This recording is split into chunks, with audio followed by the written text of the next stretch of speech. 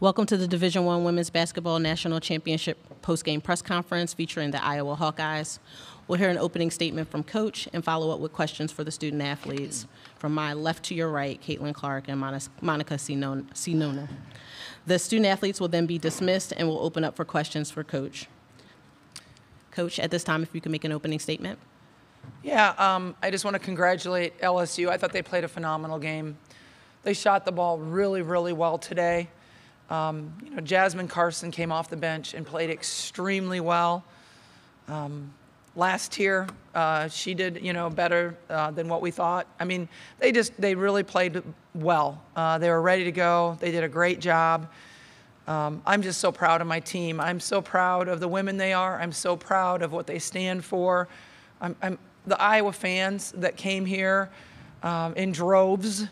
Um, I'm so thankful for them. I'm, I'm thankful that I get to coach at a university like the University of Iowa, but I'm telling you, this is brutal. It's really tough to walk out of that locker room today and to not, you know, be able to coach Monica and McKenna ever again.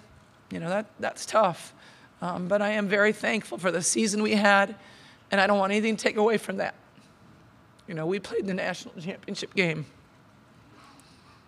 At this time, we'll take questions for the student athletes. As a reminder, please raise your hand. We'll get the microphone to you and state your name and affiliation.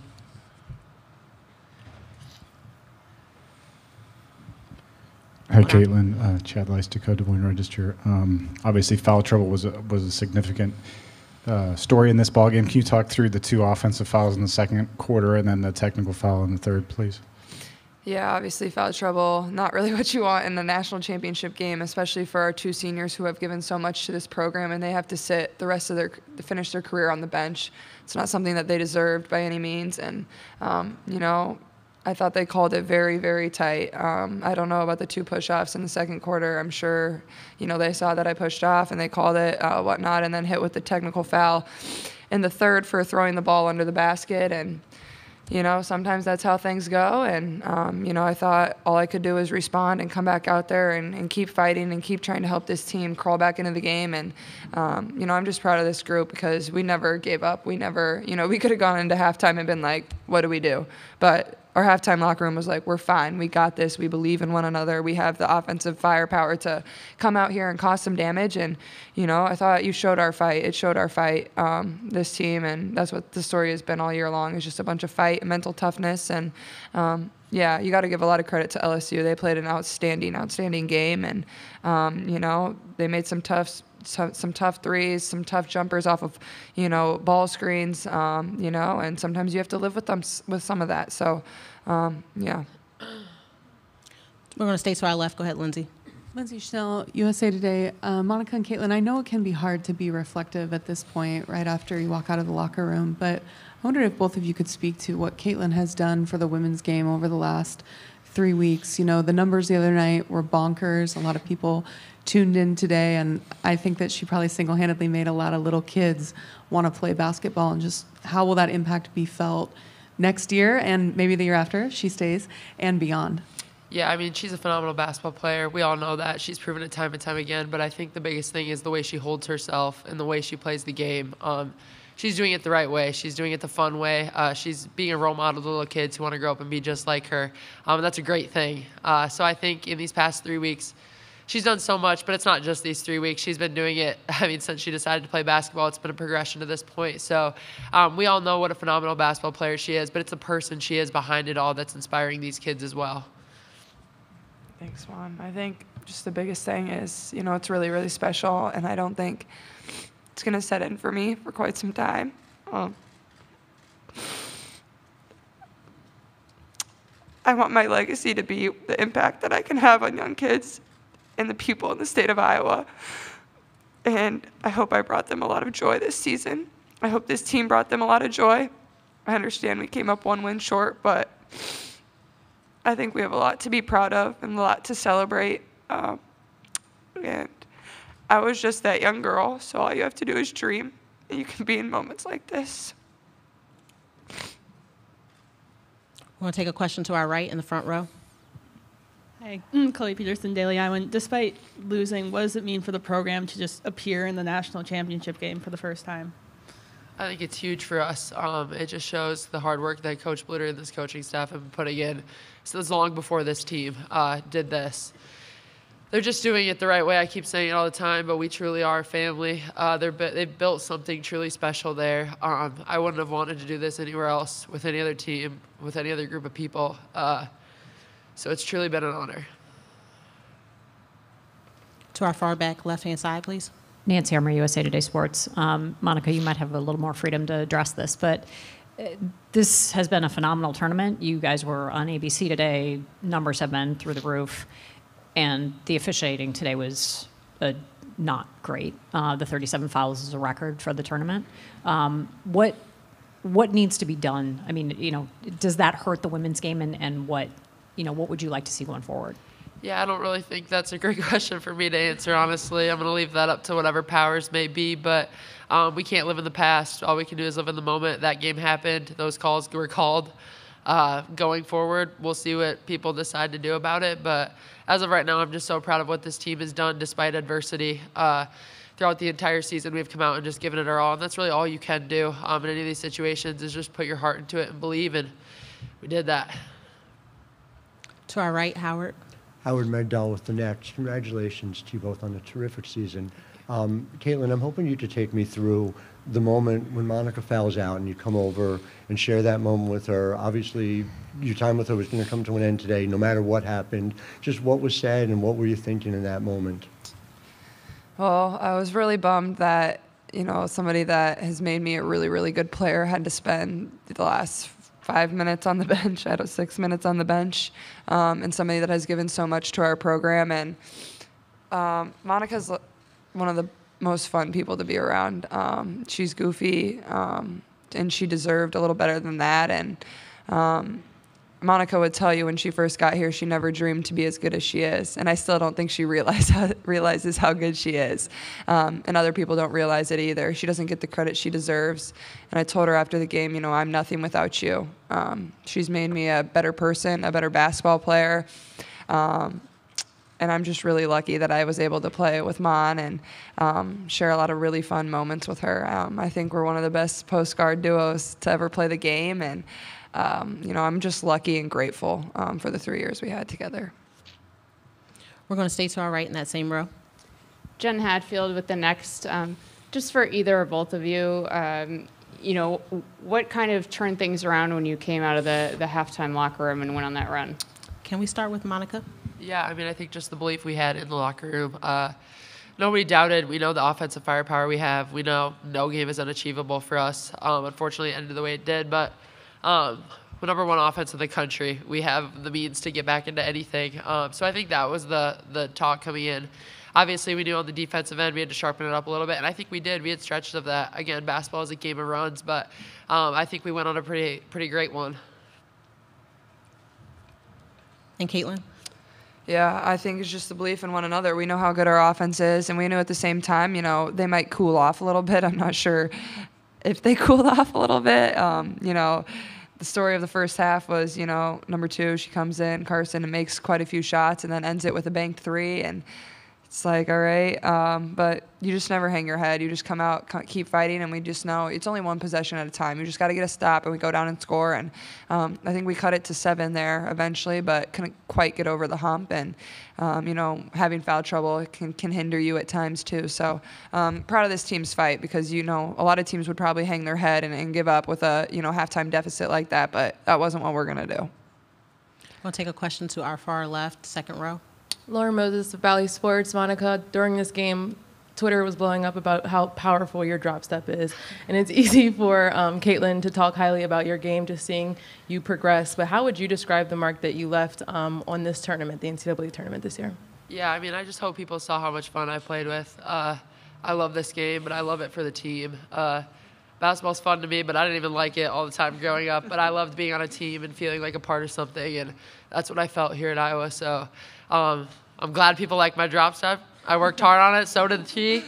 Uh, uh, yeah, I think it's just it's it's more it's the whole legacy we have here. So yeah, I don't even know what I just said, but go for it. We're going to stay to our left, back row. Uh, JC Christian, ESPN's Andscape. Caitlin, talk to me about, you know, you set the record for the most three pointers made in the NCAA tournament. You know, you guys had a timeout after that. Talk to me about what you were feeling when you dropped that last three pointer. Honestly, I didn't know that. Um, I don't know. I just think, uh, well, first of all, I probably could have attacked the rim a little bit more than I did tonight. Um, but I thought they played really good defense. I thought they had people waiting in the paint for me a little, little more than South Carolina did. Um, you know, took some there at the end of the game that you just kind of have to get up in hopes of you know drawing your team back close. But um, it certainly helps breaking a record. You know when you get to play the maximum amount of games in a season, and that's what I'm proud of. Is this group? You know we got to play. You know the entire time, and I think that's what bums me out the most about this is you know I knew this there was our last 40 minutes together, and I was just trying to cherish it and yeah, I'm sad that we lost. Don't get me wrong, but I'm more sad that I don't get to come back to practice with my best friends tomorrow, and that really stinks. Want to stay to our left hand side? Uh, Lindsay with USA Today again. Caitlin, can you tell us uh, at the end of the game what happened? There's a lot blown up on Twitter about Angel Reese following you around, pointing to her ring finger and taunting you. Honestly, I have no idea. I was just trying to get to the handshake line and shake hands, and you know, be grateful that my team was in that position. Um, you know, that's all you can do is, you know, hold your head high, be proud of what you did, and you know, all the credit in the world to LSU. You know, they were tremendous. They they deserve it. Um, they had a tremendous season. Kim Mulkey coached them so so well. Um, you know, she's one of the best basketball coaches of all time, um, and it shows. And uh, she only said really kind things to me in the handshake line, so I'm very grateful for that too. But um, honestly, I have no idea, and uh, I was just trying to you know spend the last few moments on the court with. Especially the five people that I've started 93 games with, um, and relishing every second of that. At this time, we're going to take a virtual question. Joshua Louder, your line is unmuted and you are able to speak. Please unmute your line. Joshua Louder, Joshua Louder Television Network.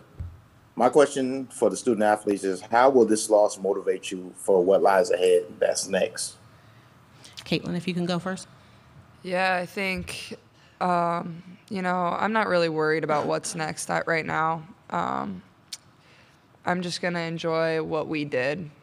We made history, and there's a lot to be proud of. Um, there's a lot to reflect on. Uh, these last couple weeks, three weeks, have been crazy, um, to say the least. And I'm just thankful that I got to be on this journey with these people. And um, I think more than anything, you know, we're losing two seniors that gave their heart and soul to this program. And, um, you know, obviously, I think they set a really good example for other people that we have in that locker room of what it takes to be able to play on this at this level on this stage. And, um, you know, I'm really grateful that you know that's what they did because um, you know we have to be bring people along and bring people up to you know get back to this point. You know this is this is our goal every single year. You know we're not just going to be satisfied with making it here one time, but at the same time, you know I'm not worried about what's next right now. It's been a really long, really fun season with this group, and you know I just need to take some time to reflect and appreciate you know all that's come with it.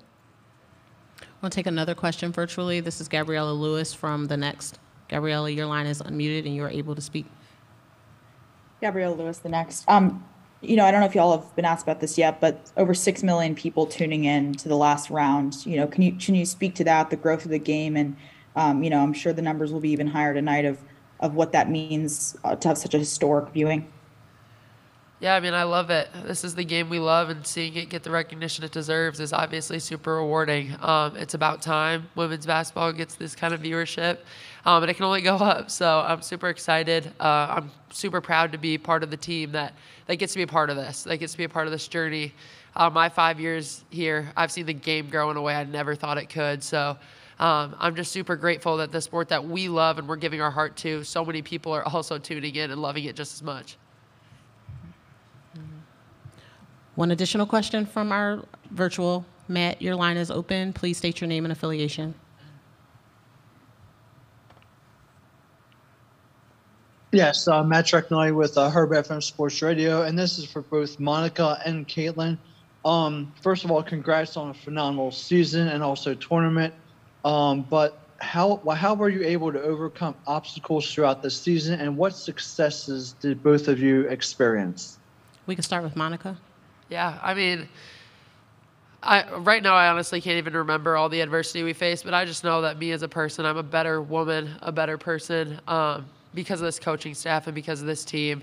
Um, I've grown individually, not even not even considering basketball in a way I never thought I could, and that's just a credit to my teammates and my coaches. I truly, I, I keep saying it, but I wouldn't want to be anywhere else because I wouldn't be who I am now, and it's the best version of myself. So um, I'm super proud of everybody, um, and I wouldn't have wanted to do it any other place. We're going to take our last question to our right for the student athletes. Hey guys, Remy with the New York Times. Congrats on an incredible season. I just want to go back to what you just said, Monica, about it's about time. Um, this is for both of you. What would you say to people who are just tuning in now to this incredible sport? Buckle up. I mean, it's only going to get more exciting and more fun. The game is evolving in such a great way. Um, I'm glad you're tuning in now, but keep it up. Yeah, I think the same. I think once people really turn on the TV or come and sit in the seat, they see how good the product is and how fun the game is. And our team plays it the right way. They play basketball the right way, and they have a lot of fun doing it. But at the same time, they understand there's more to life than just basketball. Um, and I think that's the biggest thing is just when people come and watch and understand the game, they see how fun and how great the product is, um, and they keep coming back for more. So it doesn't surprise me. Thank you both, ladies. Thanks.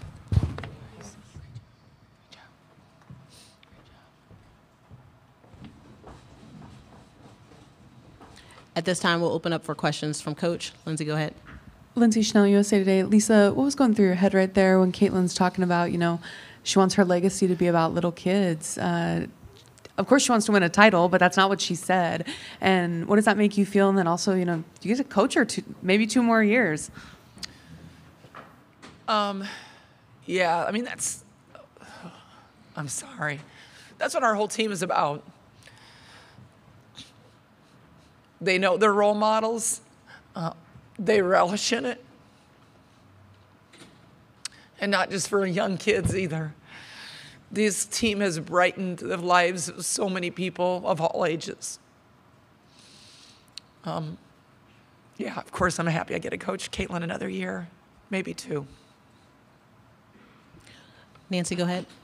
Lisa Nancy Armour, USA Today. Um, I'll ask you about the fouls. The game has progressed in terms of the players, the coaching, everything else, and today we saw that the officiating has not kept pace yet. Um, just wondering your thoughts in general and maybe what you would like to see going forward. Yeah, you know, I can't comment on the officials. Um, it's very frustrating because I didn't even feel like I could talk to them, like they wouldn't even listen. You know, that's what's frustrating is that there wasn't even a conversation that could be had. But you know, when your two seniors have to sit on the bench, and you know, I know they're not, they know, they don't know they're seniors. I get it, but I don't know. Those two women didn't deserve that. I just don't think so. And then Caitlin getting a T. I, I don't know. I just, it's too bad because, um, yeah, it's just too bad. Take a question to our right. Go ahead, Howard. Lisa, Ha- Howard Megdal from the Next. Congratulations on the season that you had. Um, just two moments I'd like to isolate on, if I could. Um, first of all, when you're walking out there, when you're hearing that Iowa crowd, you know, when you're standing there next to you know, two women you've coached with for 30 years, what's going through your head just in the lead up to this game? A follow up after that. Just gratitude. I am so thankful. You know, I mean, Hawk fans that came here, traveled from all over, and I look up, I see my family up. I have the best family. I'm so blessed. I don't know why I'm upset about this because I shouldn't be. I'm sorry. I just, I honestly feel so much gratitude. I get to do this, what I love to do, the people that really, you know, make a difference in people's lives. And I get the best family in the whole world. I'm, I'm just so thankful. And, and just, just related to it, when, when you're gathering with that team after, if you just take me through what some of your message was to them when this game was done. Yeah, I'm sorry. I'm going to try to get a grip here. Yeah, I just, I'm just proud of them. I just told them that, you know, for them, you know, don't, don't remember this. Remember that they played in a national championship game. You know, remember that they made it to the Final Four. And I asked them if, at the beginning of the year if they would have been happy with playing in the national championship game. All of them would have been. I just told them uh, there's nobody else I'd want to coach except for them. Coach, we're going to stay to our left, excuse me, to our right, the back row, please. Hi there, Leah Jean Denley, Insight News out of Minneapolis. What was the focus of your message during that timeout in the fourth quarter? I don't know if I can remember. The one that I called when they went up 14 or whatever. Just, you know, keep believing. S- Stop, score, stop. Um, I think we went, we went to a switching one through four ball screens as a, just a little bit of a change. Um, focus on what we can control and not on what we can't control. There's a lot of things out there we couldn't control, and I just didn't want my team getting wrapped up in it. And um, I think at times we did, though. We didn't succeed 100% in that. I probably didn't succeed 100% in that, but we'll learn. Stay to our right. Jen Hadfield with the next. Just wanted to ask you about a couple of your, for lack of a better word, role players. With Kate Mhm. Martin, Gabby Marshall hitting some shots. Um, Yeah. You know, we, we talk a lot about Caitlin and Monica, but, but how big were, were those two tonight? And their defense, too. I mean, they work so hard defensively, and I, I understand we gave up a lot of points. I know that. But we weren't expecting, you know, banked in threes and those type of things that really can hurt your momentum. Um, again, those two women are such amazing people that, you know, Kate, what does she go? I gotta get my glasses. Kate's three for four from three point line. You know, we have four people in double figures and almost five. Um, you know, Gabby, she's been shooting like that for such a long time after a slow start to the year, and I'm so proud of her for keep continuing to believe that she could do it and she would do it and she did it. So there's just there's just so many people on this team. Uh, They're, there's great kids. Lisa Lindsay from USA Today again. Can you comment on uh, Angel Reese following Caitlin around? D- did you feel like it was taunting? Um, I'm sure she was really proud of her accomplishment, and I would be really proud of my accomplishment if I made it. You know, won the national championship too. Um,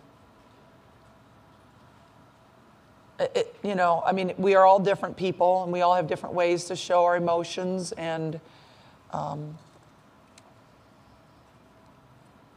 you know, I, again, I, I got to focus on what I can control.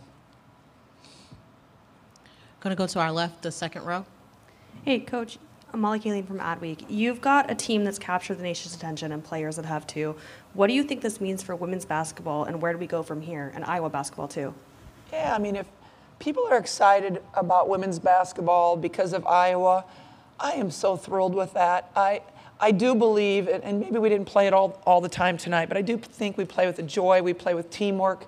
Um, and, you know, it's so fun to be able to be a part of this game at this point. As you all know, I, when I started playing, it wasn't like this at all. Um, it wasn't like this even 15 years ago. So, you know, it's just great to see people realizing the power of, of women athletes and people respecting women athletes. I mean, it wasn't like that when I was growing up, you know, kind of looked down on for being an athlete. So now, you know, these women are strong, they're leaders, and for people to recognize that and want to support them, uh, businesses, corporations wanting to support them, it's, it's wonderful. And I'm just so glad that I've gotten to see this, you know, this happen. We'll take our final question for Coach to our right. Hi, Maria McElwain, Philadelphia Inquirer. So y'all cut it to seven points uh, late there in the third quarter. What's going through your head, and do you feel like that weird stoppage in play um, killed any momentum y'all had? Yeah, we got it to seven points uh, in the third quarter, and man, I felt good right then. I really did. I felt like, okay, we got this. Um, and then, of course, we have the the foul, the technical foul, all that stuff, and it just it, it gets out of hand at that point. But it's, um, yeah, I felt really good when we got it to seven. I thought I thought we were going to do it. I really did. I, my team thought they were going to do it. Thank you very much, Coach. Thank you. Thanks.